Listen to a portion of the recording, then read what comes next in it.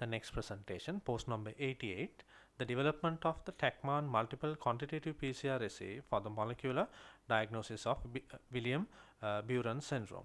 The authors are Ranaweera D.M., de Silva D., uh, Panchananthan N., uh, Kajan N., Samarasinghe D., Perera S., Morva Korala R., Gun, uh, Gunewardene S., Chandrasekharan N.V. The presenting author Ranaweera D.M.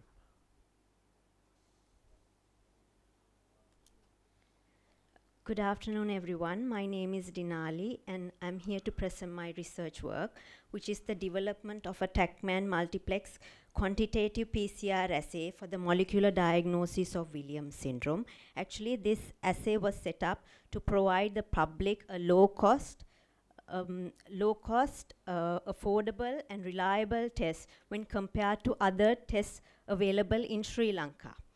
The patients were selected uh, based on two, uh, actually, uh, two main clinical features, which is the developmental delay, congenital cardiac defects, and uh, facial dysmorphism. This uh, Williams syndrome is caused by a microdeletion in chromosome 7 in the Q arm of 11.23 region. This deletion is about 1.5 to 1.8 uh, in size, and it, within this region, there are some, some critical genes and uh, uh, in this region. So in uh, this is a con contiguous ge gene deletion which includes the elastin gene and in invariably in all cases of William Beuren syndrome this region is deleted.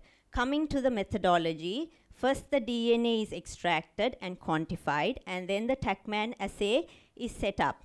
Uh, a sequence specific fluorescent labeled oligonucleotide probe, which is the TaqMan probe, plus uh, its primers go into this PCR. This uh, TaqMan probe has on, on its 5 prime end a reporter, uh, reporter and at the uh, 3 prime end a quencher. Due to the reporter and quencher's close proximity, there is no fluorescence emitted. Uh, so during the PCR, in the annealing and extension uh, step, the, uh, the TaqMan probe comes and binds to the target and the primers anneal and starts to extend. And then the uh, 5' exonuclease activity of the Taq comes and cleaves the reporter, thus separating the reporter and quencher.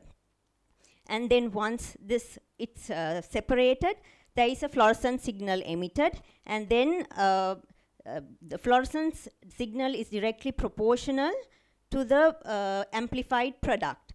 And uh, there is also a, a, positive control negative control and no template control in the uh, in each assay. So there is only one copy is deleted in uh, in the in each patient. So in a normal person if there is two elastin uh, um, genes the target region and in the control region there is two TES gene but in a WBS patient there is only one copy of the elastin and two copies of the TES. Coming to the results, um, the 19 patients were found to be positive and 5 were found to be negative. 10 cases were confirmed by fluorescent in situ hybridization.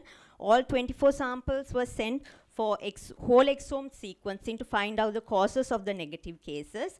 And uh, conclusion, the, this test is a reliable and cost-effective test and it was clearly able to distinguish deleted cases from non-deleted cases and is also very less ex expensive. Thank you. Thank you. The paper is open for discussion. So, uh, thank you. What you have shown is related to a rare disease. So, uh, what is unique in what you are presenting was the process. Now you have explained the TaqMan process. So, I mean, as far as I could understand, it's the general process that you have described. Was there anything unique in the process that you uh, described, or what was your main intention to show the Im imports of following this process?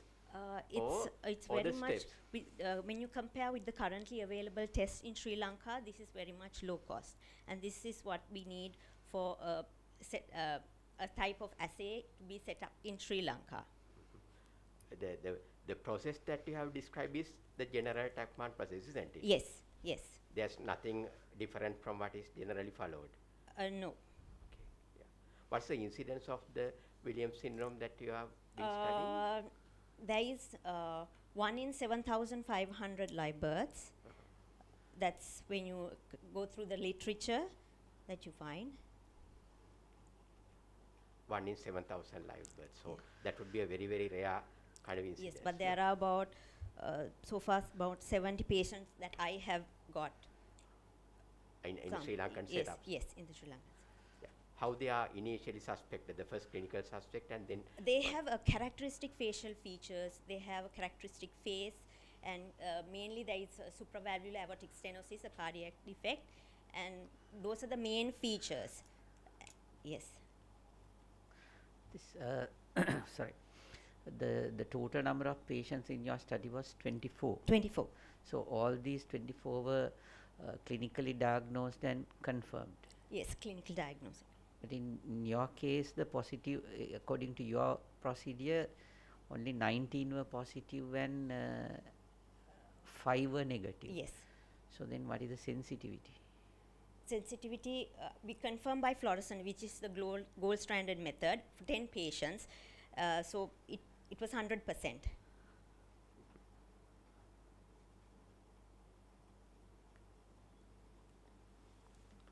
Thank you. Let's give a round of applause to the presenter. Thank